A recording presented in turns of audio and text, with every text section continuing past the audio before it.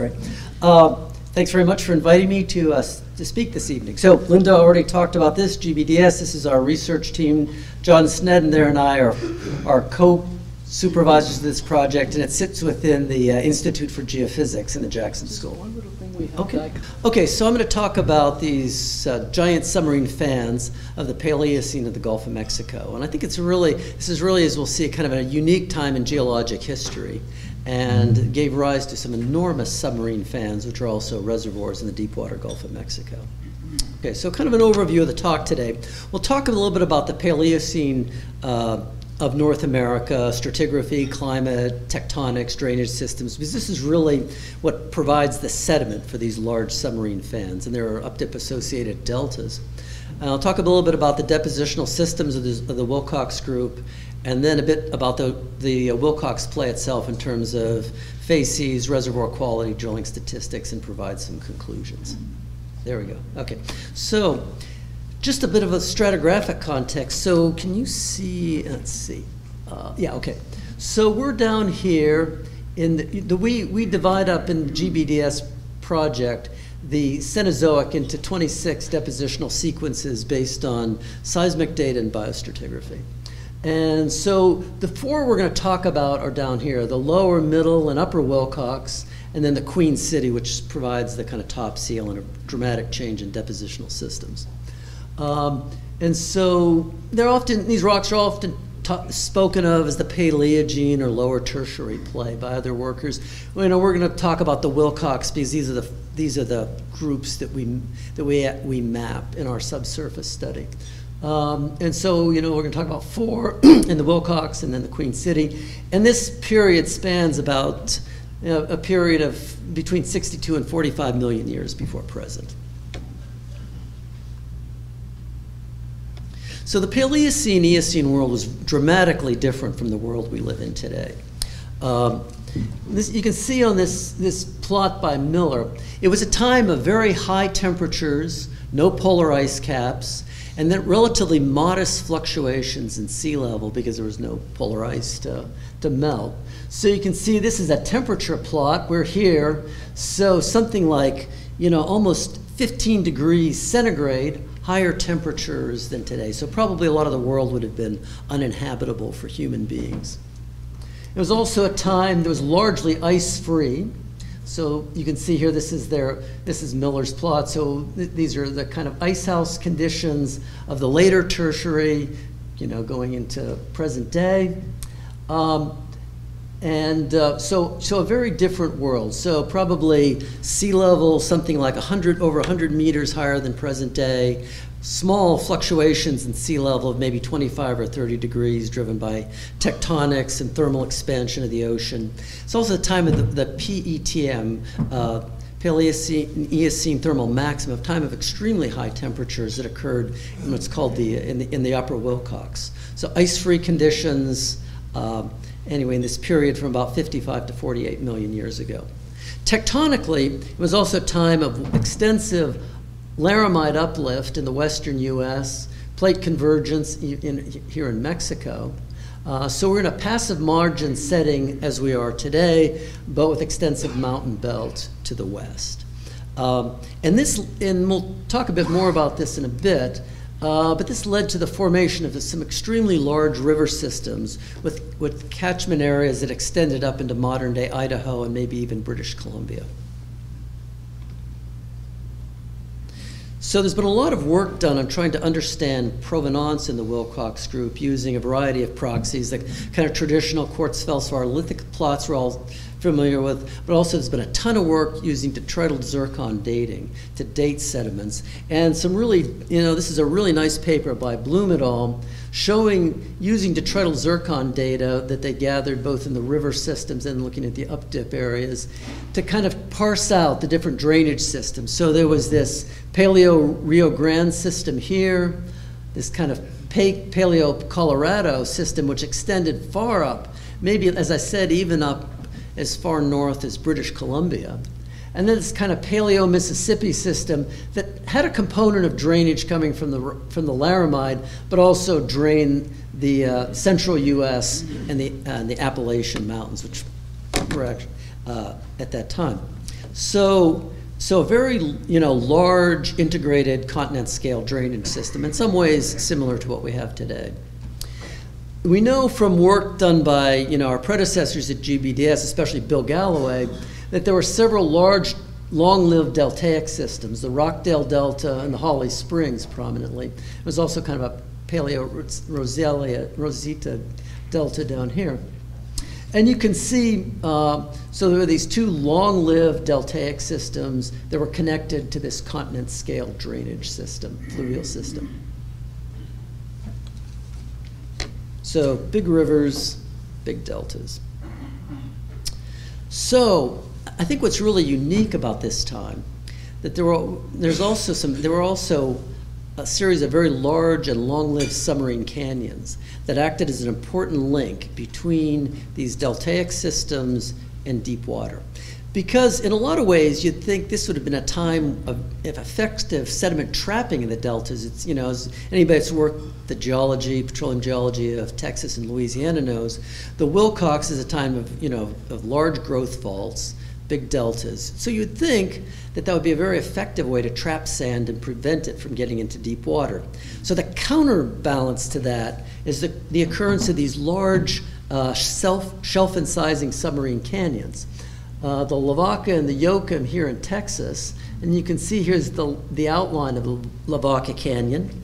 And this is a, uh, an ion 2D line showing the incision of the canyon here. And the canyon, you know, is over a thousand feet deep, is quite long-lived.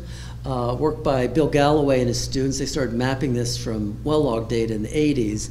And, you know, this work's continued using seismic data. Perhaps less well known is the St. Landry Canyon in Louisiana. It's a feature of comparable scale, not, not quite as well. There's not quite as much in the published literature about it. And there's also a smaller Taylor Canyon here in East Texas. But these two, St. Landry and Lavaca, were very long-lived features. And they acted, and they had a very important role in routing sediment to deep water. So this is some work that I did uh, with uh, Mike Blum. And we looked at the distance between, so this is a log scale of distance between the head of, of a submarine canyon and the shoreline. So you can see there's a kilometer, there's 10 kilometers. And what it looks like is the case. and yellow here is where we see sand being routed through modern day submarine canyons. Brown is mud primarily, and then blue indicates marls, so non deposition. And the idea is that when the head of the submarine canyon is very close to the shoreline or river, you can move sand and gravel directly from the river, from the delta, into the canyon where it's moved by turbidity currents uh, through, swept through the canyon. And there's you know modern day examples like I don't know if you've ever been to Monterey, California. I was out there sea kayaking last summer, and you can literally kayak into the into the harbor, and you're you've got like five or six hundred feet of water under your boat because you've kayaked to the head of the submarine canyon. Uh, comes right you know within uh, less than a kilometer of the shoreline. So we think this is very important for sediment routing in the Wilcox. So this is work we've done. We're, we're looking at the total volume of sediment. We use core, wireline log, and seismic data to map the total sediment volume. Not, uh, excuse me for the weird scale in cubic feet. Um, but uh, so this, so we're looking here. This is total sediment volume. This shows the shelf slope break here. So here are the deltas. Here are the submarine fans. So this is total volume, sand and mud. I'll show you a plot in a minute of just sand volume. But you can see as we go through the lower Wilcox, we have these, you know, very large deltas. You know, they're thickened due to growth faulting, but large volumes of sediment routed out into deep water. As you get into the upper Wilcox and the Eocene, we're starting to see a reduction of sedimentation in deep water. There's a global rise in sea level. We start to backflood the submarine canyons, back, move the shoreline to the north and west. And by the time we get up into the Eocene Queen City Formation, we've completely filled those submarine canyons with fine grained sediment and severed that connection between the deltas. And, and you also have a smaller sediment flux, but you can see we're getting virtually no clastic sediment in the basin. It's very Queen City deposits in deep water, mud and marl, no sand. So that's quite, you know, quite a dramatic change uh, in deposition. And these large volumes of primarily fine grained sediment are responsible for driving the shelf slope break. So you can see here, you know, the kind of depositional template of the Cenozoic set up by the old Cretaceous shelf edge, which is back here in blue. And you can see there's the lower Wilcox shelf edge. By the time you get up into the Oligocene Frio, you know, the shelf has moved almost 100 miles, over 100 miles basinward, due to this large volume of sediment deposited during the, uh, during the, the Wilcox, during the Paleocene and Eocene.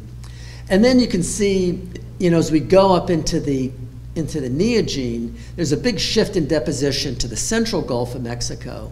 And we push the Miocene shelf edge out in here.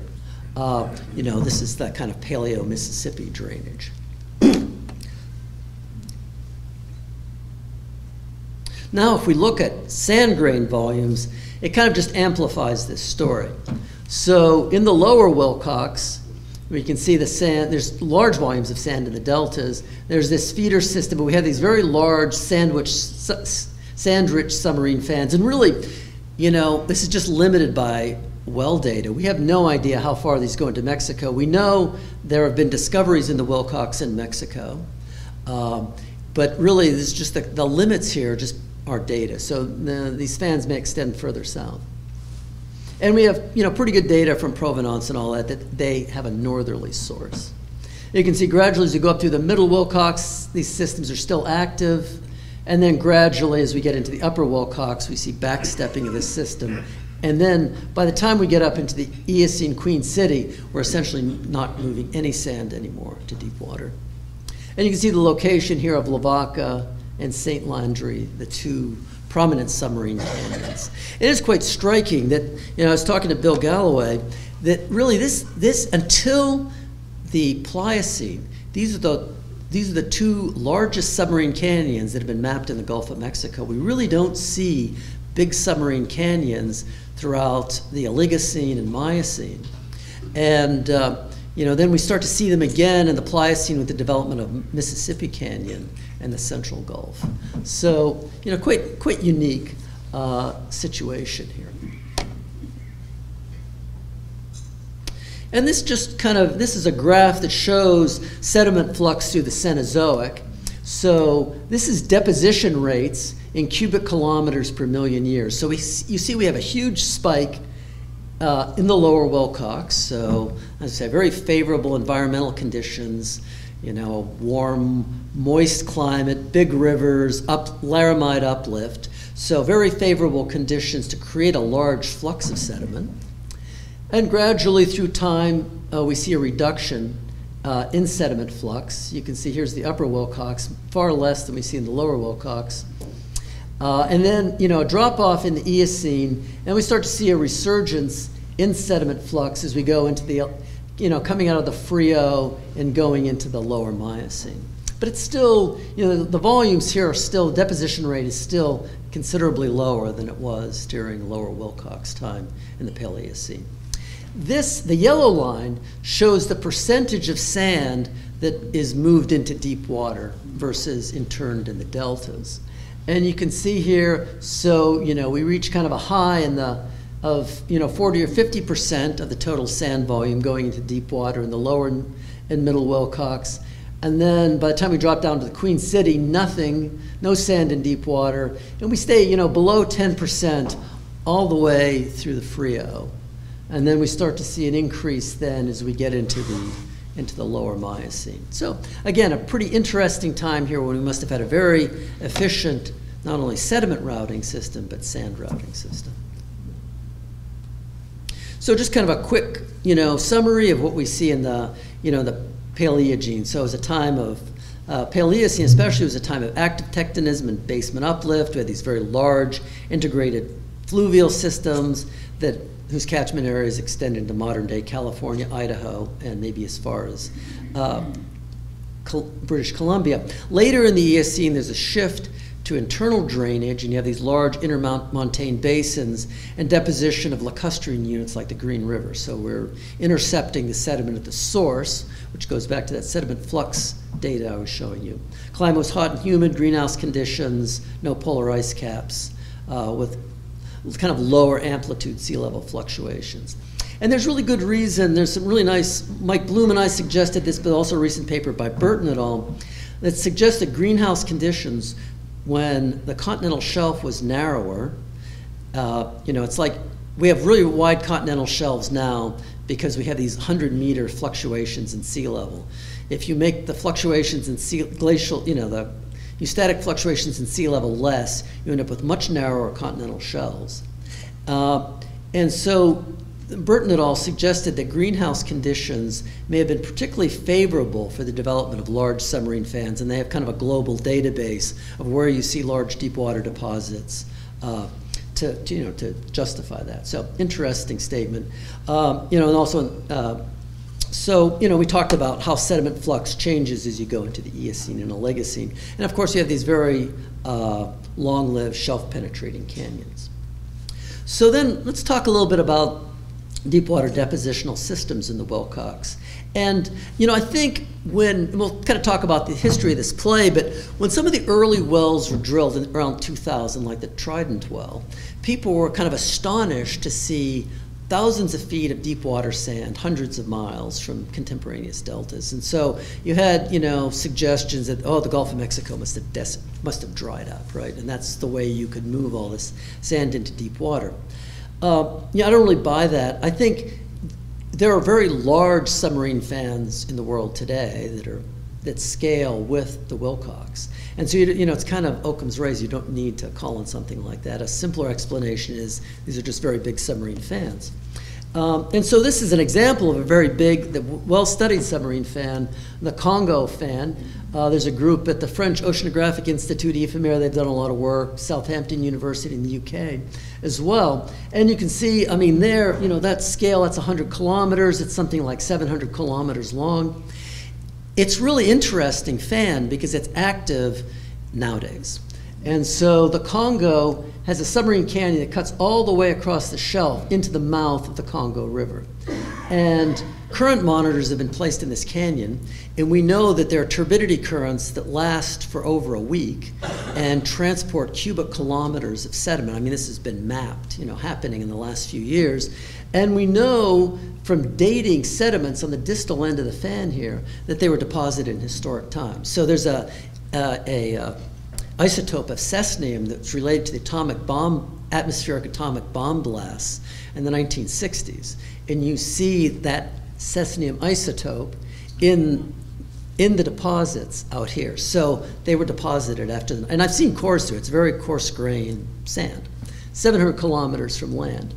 So what this system looks like is you have a whole series of leveed channels feeding these depositional lobes, shown here in yellow, and through time, as these channels have evolved, they've built up this architecture of sand-rich levees, which can be sand-rich lobes and channel fill deposits in the sand.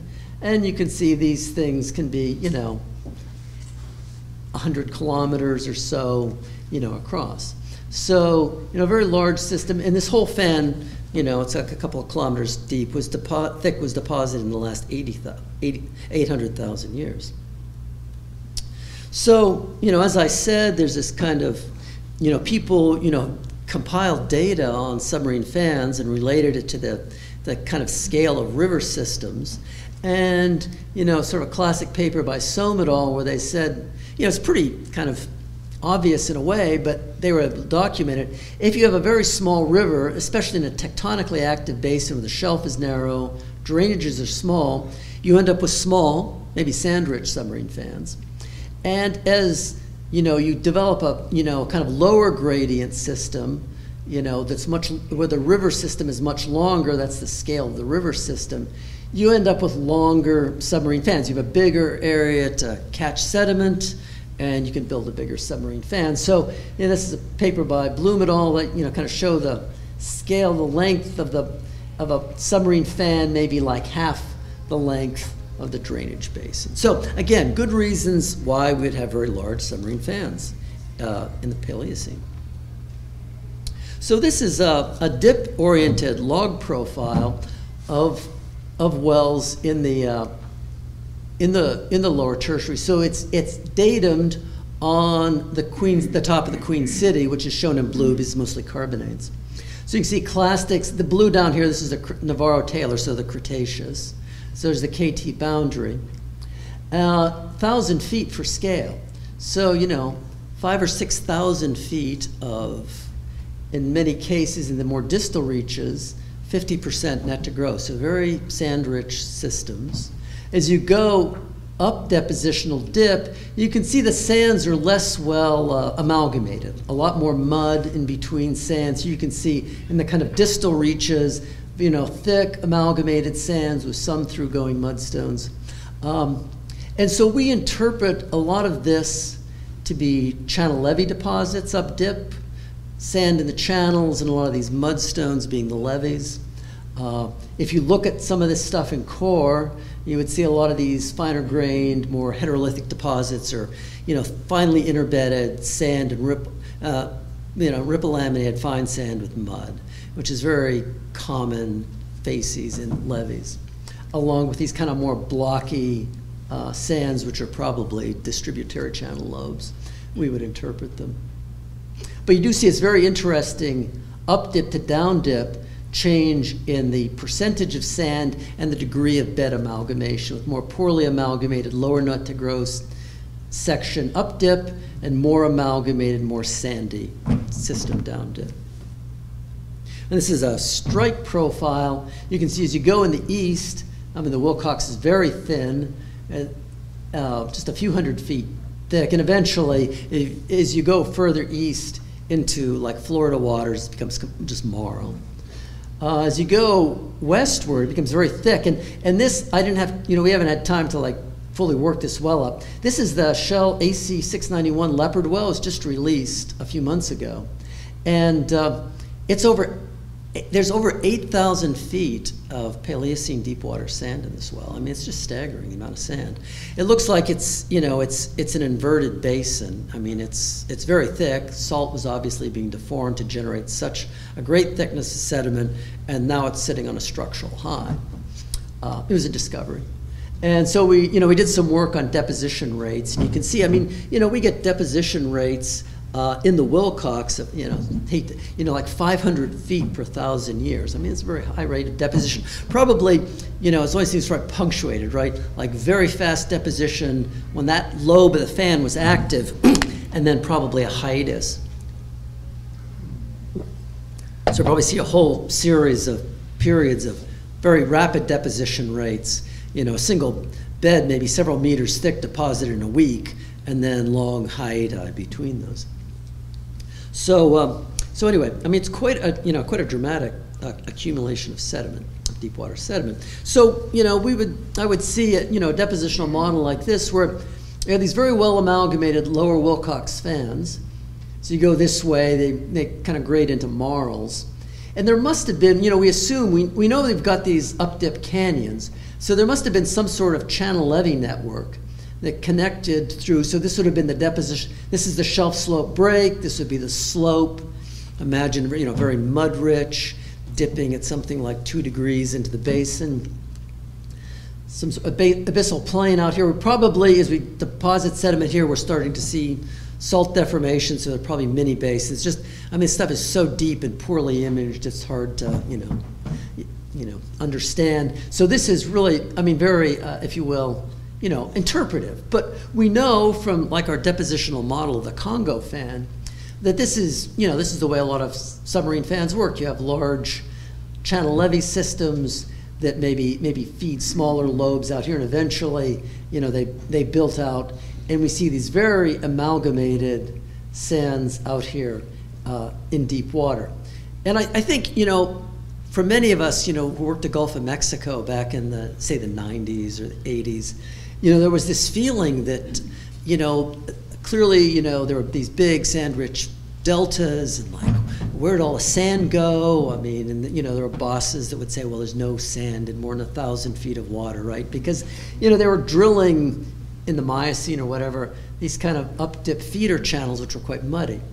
And the big surprise was, of course, there's this large sandy fan that's down dip of that. So what does the Wilcox group look like in terms of reservoir quality and facies? So this is There's a, some, a core photo of, of a Wilcox well, uh, kind of go into a bit more detail. So, so, I mean, this, the Wilcox is really dramatically different in terms of lithofacies and grain size from the Miocene. It's uniformly lower fine to very fine grain size, often poorly sorted with a high silt content. Uh, the somewhat better permeability sands are somewhat better sorted. The deltaic facies do have some medium-sized sand, though we've never seen anything coarser than medium sand. It's also, compared to the, the uh, Miocene, which is a quartz arenite, so I'd plot up here, uh, the Wilcox is, is you know, the Paleocene is you know, enriched in feldspar and lithics, as you'd expect since it's, you know, draining the laramide source areas where basement rocks are being uplifted. Um, so it's, you know, it's, it's got quite a, a, wide range of, you know, feldspar and lithics. Um, it's also in many places quite thinly bedded.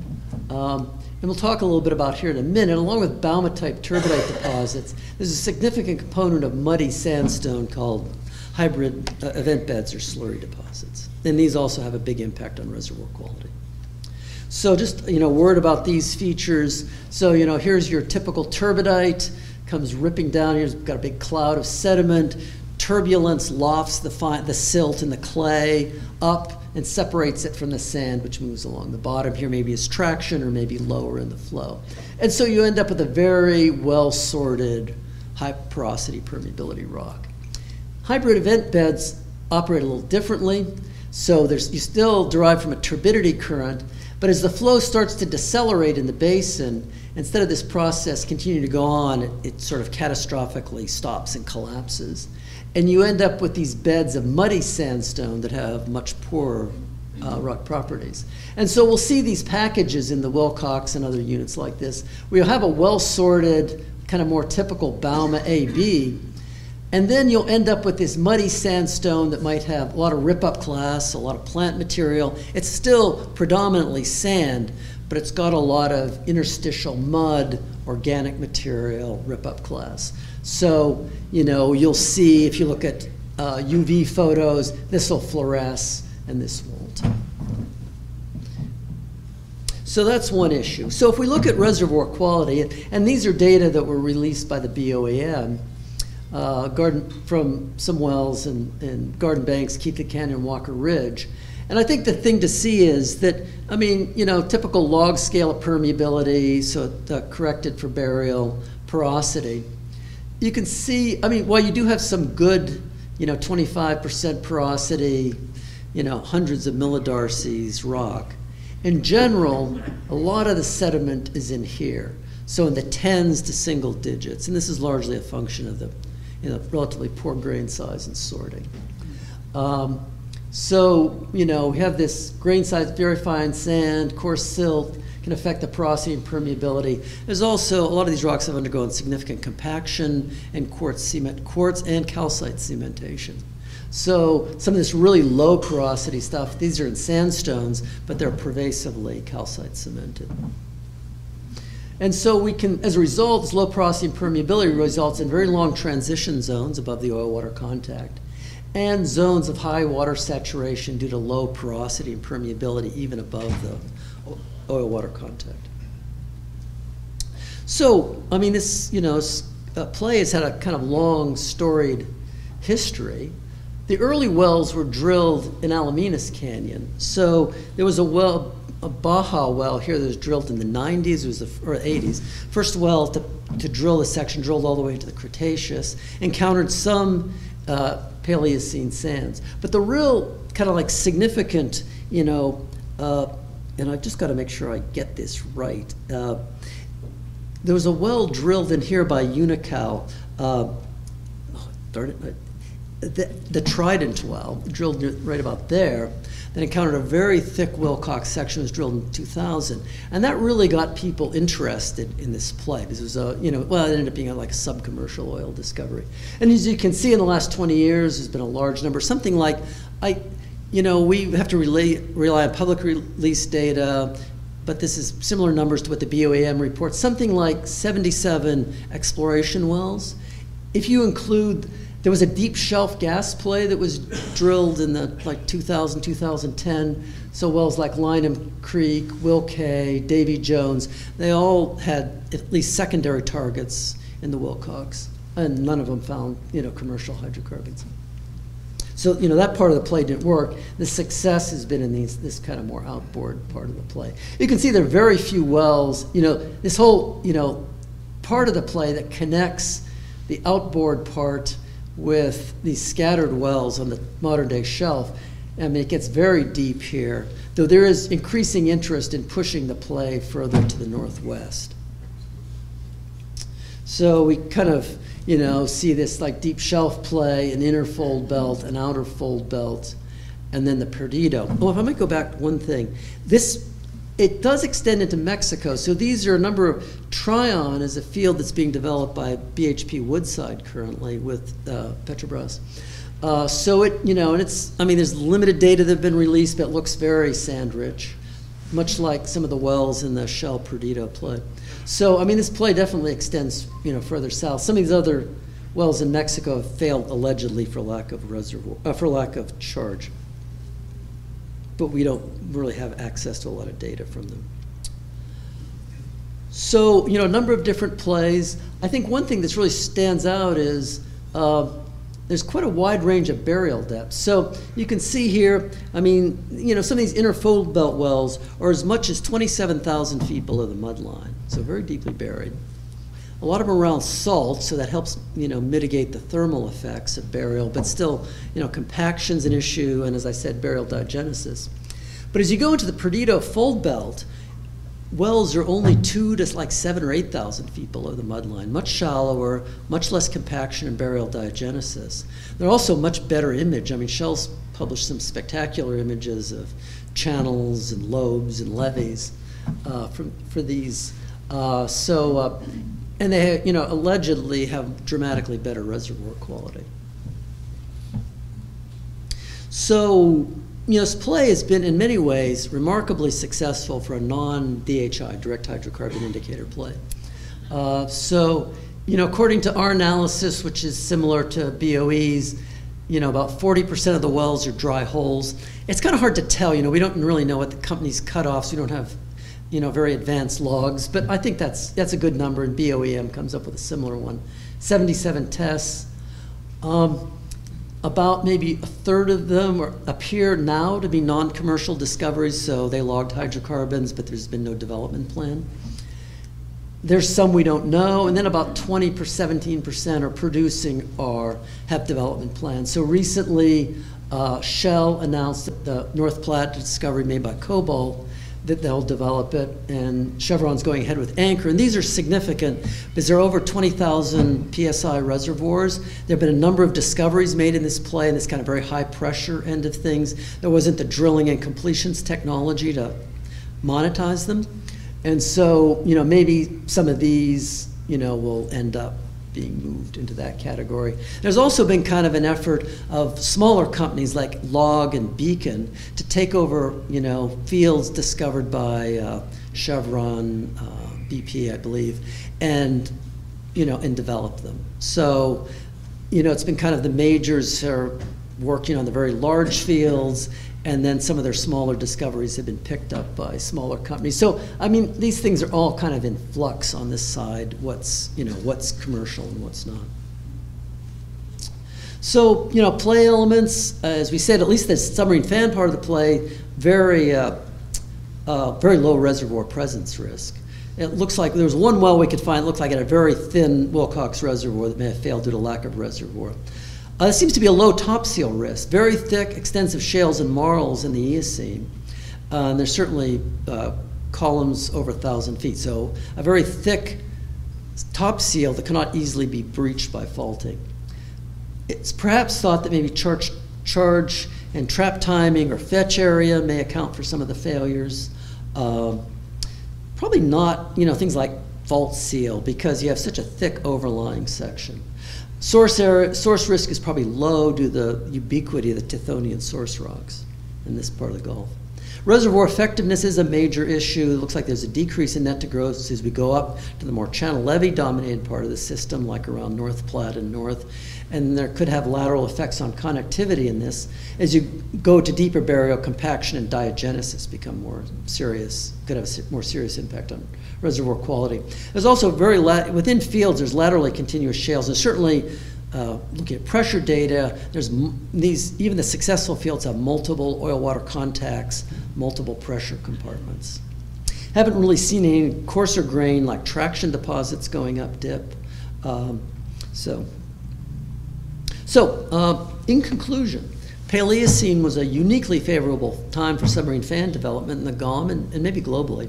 It's quite a different play from the Miocene play. Uh, you know, ice house versus greenhouse conditions, much larger fans in the Paleocene, much poorer reservoir quality. Very large volumes have been discovered, but there's unique kind of drilling and completions challenges that have made it difficult to commercialize many of them. So, thanks.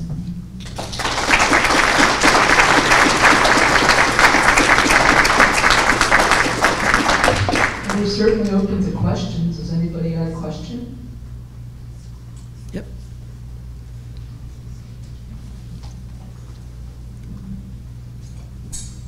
A real good talk. I, I enjoyed it. I have a lot of experience in the Yoakum and Lavaca Channel Oh, right. areas. Uh, mapped those areas extensively over a lot of years. And one thing I noticed is, that I know the Yoakum Channel in particular originated in the middle Wilcox. Right. Uh, eroded down to the lower Wilcox. Uh, and it, uh, middle Wilcox, where it is, is largely shales. Right. The uh, lower Wilcox are where the uh, uh, sand uh, delta deposits are. So I'm wondering if, it- if, if lower, if the source of the sediment is lower Wilcox, uh, and this might be a minor issue, but if, if, if- it's eroded and relocated in middle Wilcox, wouldn't a lot of those sands up in uh, deeper Gulf actually be uh, middle Wilcox age deposition from lower Wilcox source rocks? Yeah, I can see there might be some component of reworking, but the, the, the very large volume of sediment, if you just look at the amount of, you know, most submarine canyons are largely filled with mud. You know, there are sands, you know, I've seen some of them in core.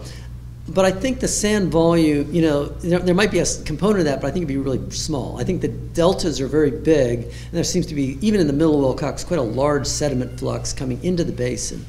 So I would think, you know, a lot of it's, you know, the Middle Wilcox fans, it's Middle Wilcox age, you know, it's the sediment coming down at that time from the rivers into the deltas and canyons, Predo- predominantly.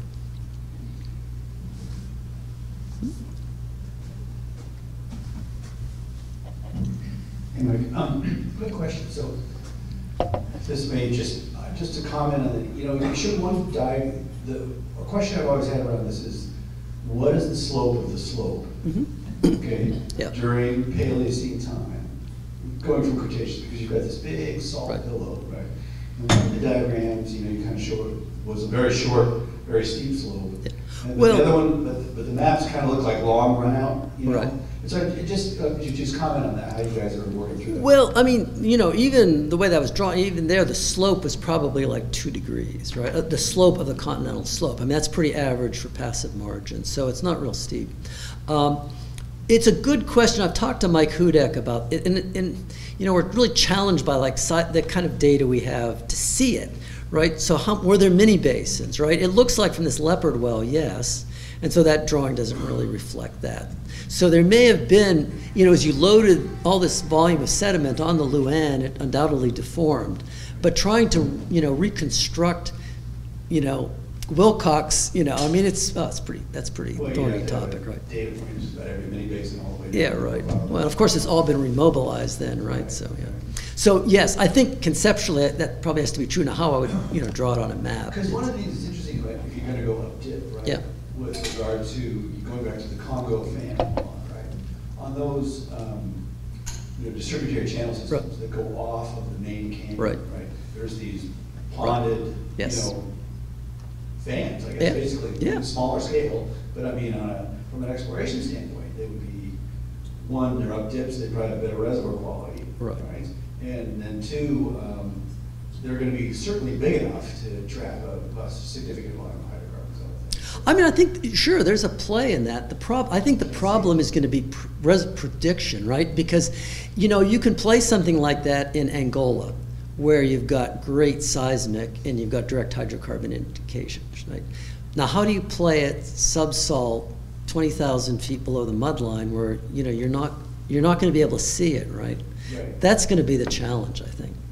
That's, that's the new, new node technology, hopefully it's gonna change that. Yeah, I, yeah, I don't know, but, you know, I mean, people, people are exploring that play. I mean, so, you know, maybe they, they they have probably a better seismic than we've ever seen, than I've ever seen. Okay, so who else has a question? Uh, Kind of person over here. It's Martin Cassidy. In the uh, South Texas, many of the sands have volcanic rocks in them, little pieces of volcanic rock, uh, which have, uh, were uh, um, glasses and now are zeolites, uh, and result in strange porosity, poor plugging. Uh, Do you see any of the result of that in uh, the sediments in the the deep Gulf? So we don't have a lot of data uh, that's publicly available, right? So I mean, that's a problem. You certainly see that in the Frio and the Oligocene. You see a lot of volcanic rock fragments. Uh, I have a student who's working on compiling a database of uh, Paleogene, you know, Paleogene uh, quartz feldspar lithic data. And we've really struggled getting things in deep water. We're trying to get some of our member companies to like give us some data. So I, I mean, my feelings, I know that's certainly true in the Oligocene in the Frio, and I don't, I haven't seen enough data to know for sure how true it is in the in the Wilcox. In Mexico, you see dramatically, we do have some data in Mexico, mm-hmm. and it's dramatically more feldspar and lithic rich in Mexico in the Wilcox than it is in the Northern Gulf. It's more of a litharenite. Okay. Someone else had a question on the same table. Chuck, do you have a question? Might have answered it. Uh, It's curious to me that you showed the fan Uh-huh. well out in the distance plane, except for I would expect it right break and slow. You feel that this is just mini basins? Yeah, and you know, it's possible as, you know, that there were smaller lobes, uh, smaller lobes inboard if there, you know, if you did have mini basins. But it looks like just from the data, you know, the well data, and, you know, when I was working, we had some, like, really, some really nice 2D lines out in front of the salt, and you can see this kind of massive compensational stacking over tens of miles, which, you know, suggests a, you know, a really big fan, well amalgamated fan. That was near the U.S.-Mexico border where you're out in front of the salt. So uh, I think that the really big amalgamated fan is where I drew it, and there might be smaller uh, fans, in, you know, as pointed out, in many basins up dip, but there's so little well data, it's, you know, be very conjectural. But you wouldn't have expected uh, those amalgamated thick lows to be at the, up to the base of slope. Yeah, you know, I, I think, well, I mean, if you look at places, even like the Congo, I mean, the main locus of deposition is further out. in the- It's not like it sort of marches out. I mean, the, what happens is the levee channels extend, and they can extend quite fast. And uh, so I, I mean, at least, you know, my interpretation is that, it, you know, and based on the well data and limited 2D seismic, that it looks like the main, uh, the best developed, most amalgamated part of the fan is further basinward than what, Thank you. base of slope. There's a couple, oh, Janet, I guess. Okay, whoever. Hi, Jessica Barnes with BOEM. Um, so I keep seeing, well, we keep seeing a lot of companies putting a lot of bids on areas, probably for the Wilcox, where, um, we're not seeing very high perm at all, and when we map it out, it doesn't look economic. Um, marginal at best. Do you have any comments on what they might be doing? Is it, do you, is there rumors of new technology coming out? Because so far, we're I- I- construction on our I- hands, what a lot of companies are I have, yeah, I have no idea. You know, I mean, this is no secret that the only way to make this stuff work is to do stacked fracs, And those things, I mean, it- it's published, that, you know, they go, it's like $300 million at completion, right? So, boy, you better have a really thick column and, uh, you know, to, to make that fly. So I don't, and that's with the more conventional stuff that's outboard. I can't imagine if you, you know, you're in the sub-millidarcy. Yeah, I, I'm, but I'm not, a- I'm not a completions engineer or an economist, so. I- Fair enough, thank you. Doesn't- A few people asked me to ask you. Yes, I don't understand, yeah, like, but hey, it's not my money.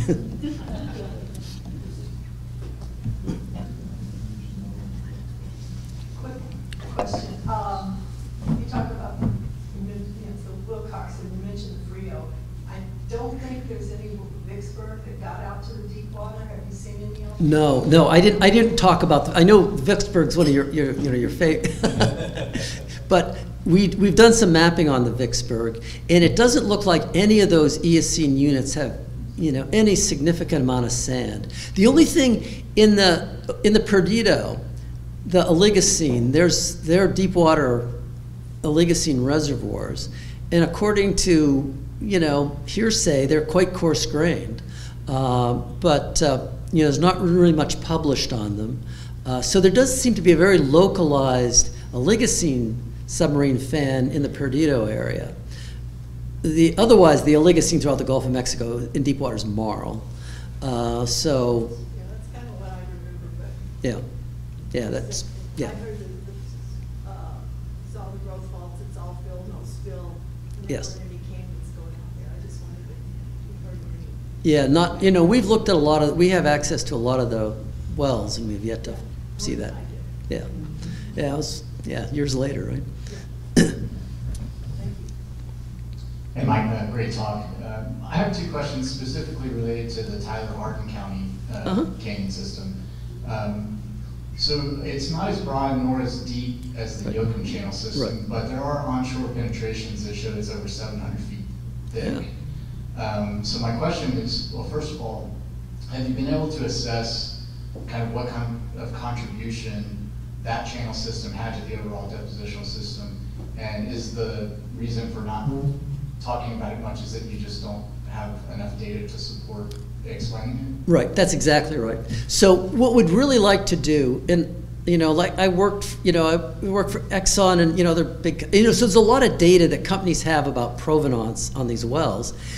And uh, that would really help us crack these kind of questions, right? But we just don't have access to enough of it to really be able to tell the difference of the contribution of these three submarine canyon systems. I, you know, we're, we're trying to get more data, but it's only, we can only have access to what's publicly available, so we, yeah, we're limited.